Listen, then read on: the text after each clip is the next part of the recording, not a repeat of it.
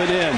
Yeah, I mean Turner does a great job of attacking right there. You can see him and him and McKinney's going to be attacking the game all night. Uh, and that was fun. Walk into the gym today and see Tyus Edney light up when he saw you. Marciulionis probing, kicks. Mahaney turned down the three, baseline drive, and that's what he does so well. Yeah, that was a good percentage wise he did a year ago, but he still is impactful with what he does on the floor. Ducas can score from everywhere, and he hits a deep three. The game easier on his teammates. Yeah, like you said, Muncie is their glue guy. You know, he kind of does a little bit of everything. He's very solid defensively. You know, look for him to do a little bit more defensively for this team. Barrett, corner three is good. Kenyon is really giving some really good minutes since he started coming into the game.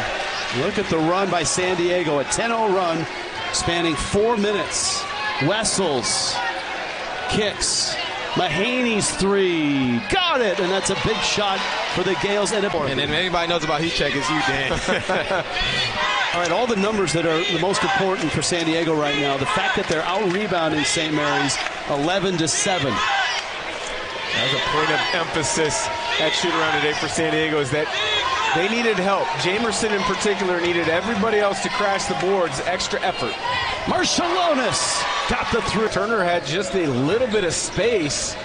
Right now, that's all he needs is a, sliver of an opening. Marciulionis and Mahaney playing catch. Shot clock down. Marciulionis kicks Jefferson. Four to shoot. Mahaney will. It's a three. Got it. And all of a sudden, former San Diego Torero Brad Lechtenberg, who led the NCAA in three-point shooting in the early 2000s. Look at you dropping West Coast Conference knowledge. Mahaney's third three. Final seconds, first half. St. Mary's had an 11-point lead. Great dime there from Mahaney and Saxen. Dan for USD, you know, now McKinney is out right now. Who has to be that second guy other than Deuce to step up for them? Well, Hayes hasn't gotten on track. And they can't give up layups like to rebound. Marciulionis turned down a three. Into the corner. Good rotation. Mahaney charging in and gets the bucket and a foul.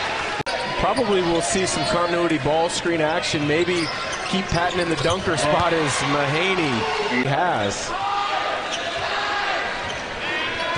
Mahaney driving, doubled, holds the possession.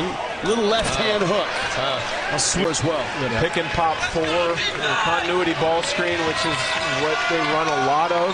Does San Diego presents a lot of opportunities for bigs that can shoot it and make decisions. Right. It's a nine-point game. If you look at if you look at St. Mary's backcourt, the difference between their backcourt and SD's backcourt, all did a terrific job scoring tonight.